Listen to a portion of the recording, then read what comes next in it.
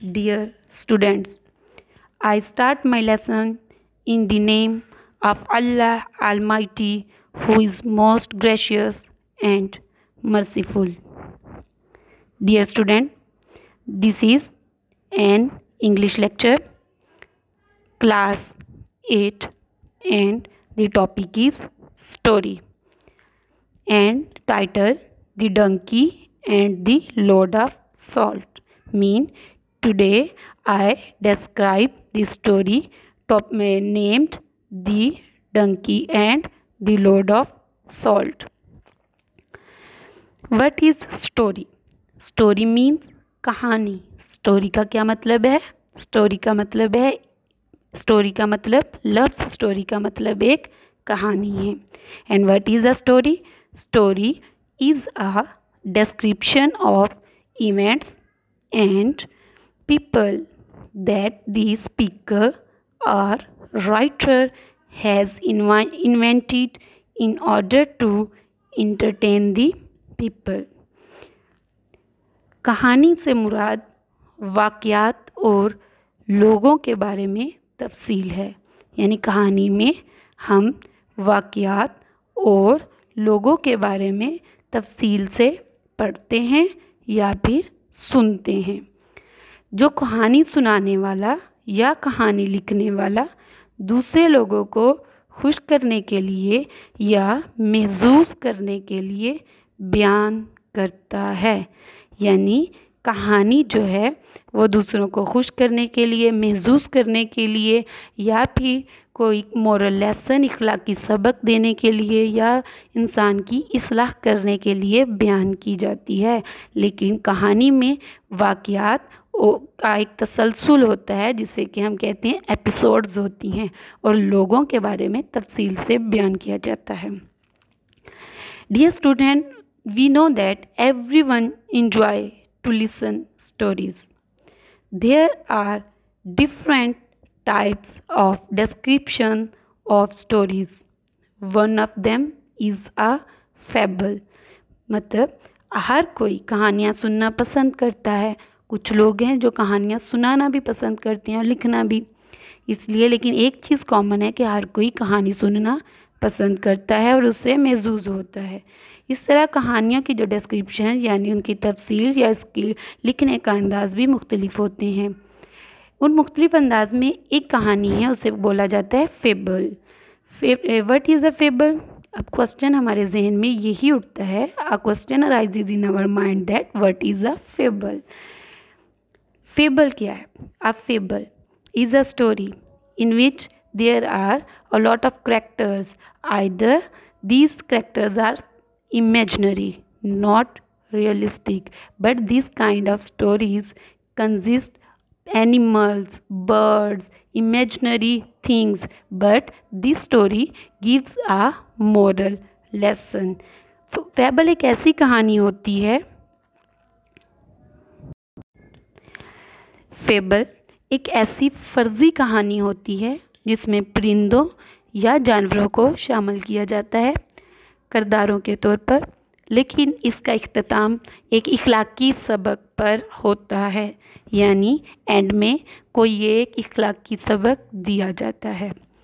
Similarly this story is also a fable the donkey and the load of salt is also a fable it conveys a very logical message that never play foul games with others मतलब कभी भी चालें, ना चलें या फिर धोखा ना दें let's start the story story the top title is the donkey and the load of salt गधा और नमक का बोझ। A salt merchant loaded his donkey with salt नमक का एक ताजर अपने गधे पर नमक लादता है। He went to the market to sell it वो इसे बेचने के लिए मंडी ले जाता है। देयर ले आ स्ट्रीम ऑन दी वे रास्ते में एक नदी पड़ती है। While crossing it the donkey tripped and fell into the water नदी को पार करते हुए जो डंकी मतलब गधा है, ट्रिप्ड डगमगाना।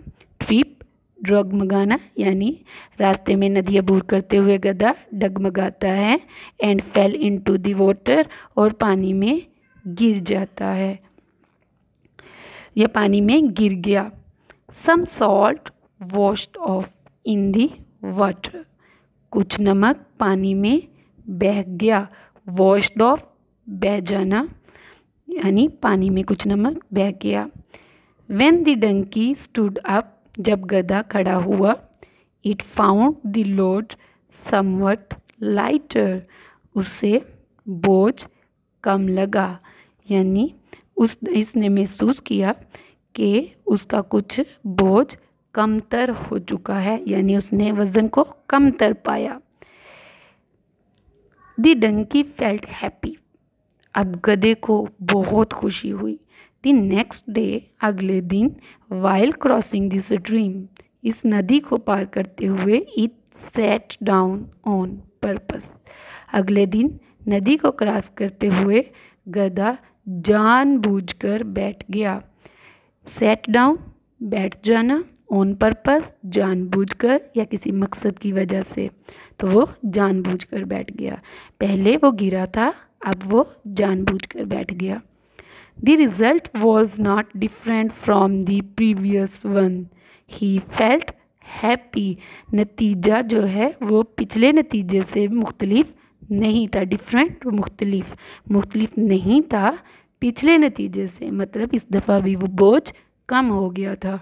ही फेल्ट हैप्पी अब इसे बहुत खुशी हुई।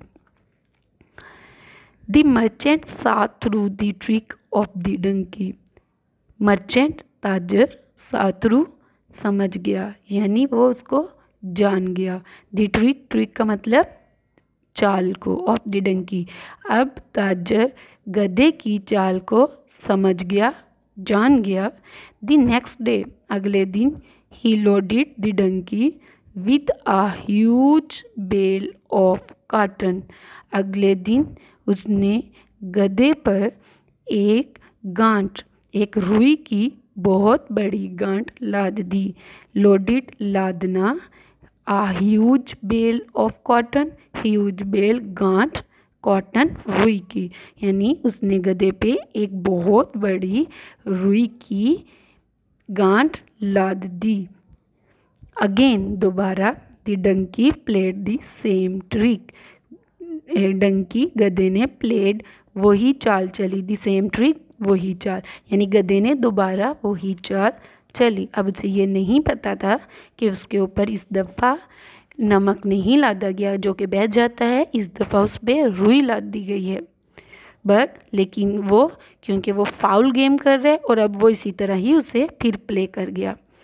When he tried to stand जब इसने खड़े होने की कोशिश की ट्राइड कोशिश करना टू स्टैंड खड़े होने की he found a double burden on his back as the cotton had sucked water जब उसने दोबारा खड़े होने की कोशिश की तो इसने देखा या उसने अपनी पुश्त पर ऑन हिज बैक अपनी पुश्त पर डबल यानी दो गुना वज़न महसूस किया। डबल बर्डन दो गुना वज़न ऑन हिज बैक अपनी पुश्त पर। एज जैसा कि, क्योंकि the cotton had sucked water क्योंकि रुई पानी से गीली हो गई थी। यहाँ पे सख्त से मुराद गीला होना या फिर चूस लेना है। यानी कॉटन ने पानी भर गया था, यानी रुई में पानी भर गया था, रुई गीली हो चुकी थी।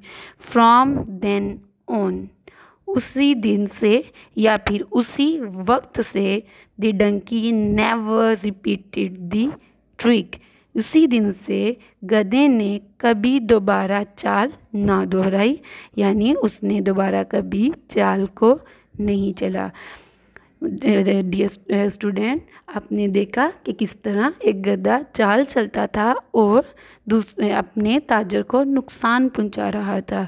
लेकिन वो ताजर भी इस बात को समझ गया और उसने भी एक तरीके से अपने गधे को ये बात समझा दी कि वो गलत कर रहा है। अब इसका मोरल लेसन ये हुआ do not play foul games मतलब कभी भी चालें। ना चलें या फिर धोखा ना दे। प्यारे बच्चों, आपको ये कहानी the donkey and the load of salt अच्छे से समझ लें and learn the story by heart your diary is learn the story the donkey and the load of salt and write this story on your notebook. Thanks for watching. The your video lecture. See you later with a new lesson